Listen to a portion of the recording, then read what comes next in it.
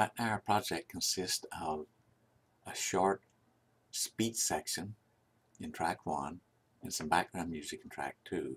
However, right now, if we play this, Good morning.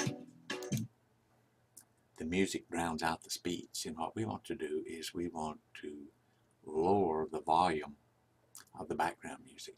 To do this, we're going to use the envelope tool. We're going to move down in the second track where the music is with our envelope tool.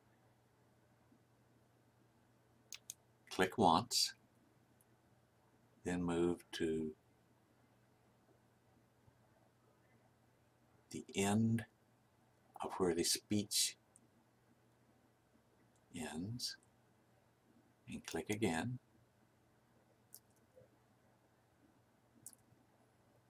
Then we're going to move slightly to the left and make a third mark and pull down to decrease the level of the audio. Then move to our first mark, just to the right of our first mark.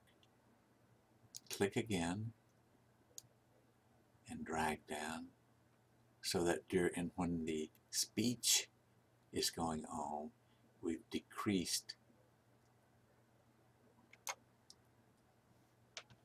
the level of the music. So let's try it now. Good morning. What we're going to talk about this morning. That's better. Probably- ask everyone To stop. Or decrease it even more.